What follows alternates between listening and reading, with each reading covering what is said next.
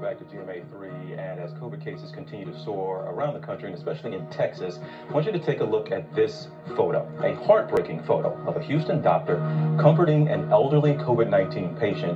This was on Thanksgiving Day, and this picture has gone viral. The doctor, who is the chief medical officer at United Memorial Medical Center in Houston, says he didn't even realize that that photo was being taken, but he is here with us now to talk all about it.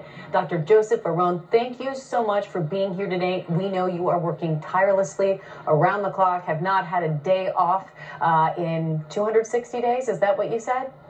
That is correct. 260 continuous days. Wow. I mean, we thank you from the bottom of our hearts for your service, and I know your patients do as well. But let's talk about that photo. We said you didn't know it was being taken. Can you tell us what was going on? What's the backstory? Yes, I mean, as you know, I have been very transparent with media. So I like the media to come to the hospital to, to show the people what's going on in the COVID unit so that people believe that this is a real uh, illness. So that day, I had a professional photographer that was taking some pictures for a, a company that was Mr. Nakamura, and he was following me. So I'm going on the hallway, and as I'm going on the hallway of my COVID unit, I see one of my critically ill patients who's standing up, almost disconnected from his uh, monitors and he's crying. So I forget that Mr. Nakamura is behind me taking pictures. I go into the room and I ask this man, What's wrong with you? And this gentleman tells me, I want to be with my wife. So, I mean, I guess I did what anybody else would have done, you know. I mean, you see this old guy who is scared, who's crying. I just went ahead and hugged him. And uh, at that point in time, Mr. Nakamura is taking pictures that I don't know about. Um, so, you know, I sit with the patient, I comfort him. He does uh, quite well. He relaxes. And then the next day, I'm starting getting phone calls from all over the world as to uh, what's going on in this picture. I said, What picture? I had no uh, idea that there was a, a picture at the time. Oh, I mean, listening to you tell that story, it's hard not to have tears in your eyes just feeling for this man. How is he doing? How is your patient doing?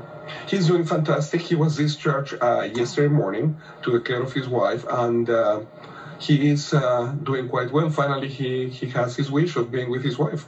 Dr. Varon, give us a, an, some insight into just how desperate these folks are in this isolation just think about it. You are in a, in a room where you cannot communicate with anybody else. I mean, if you can, you do it via phone or via, uh, a, you know, a tablet or stuff like that. But having said that, especially if you are elderly who are not technologically savvy and you're used to talk to people, not to, you know, call them on the phone, that gets very uh, un- uncertain. In addition, we come in with these spacesuits.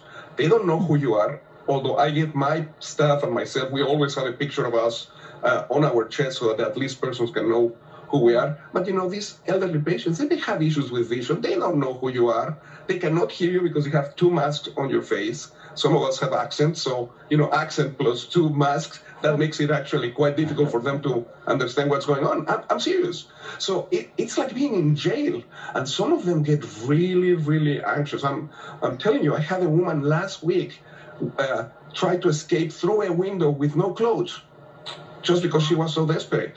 Uh, Dr. Varon, we cannot thank you enough for what you have been doing. Uh, and you know, there's a lot of people right next to you uh, in your hospital and really uh, the frontline workers all over this country who are putting in the time and the work that you all are. Thank you for taking the time with us and continue to get that message out. And like you said, we got to hold on here for the next several weeks, possibly as the holidays and we see what happens after some of these uh, Thanksgiving get-togethers. But uh, 260 days, I, I don't think Robach and I will even try to get you to take a day off. We know it's not going to happen. Thank you very much. Mm.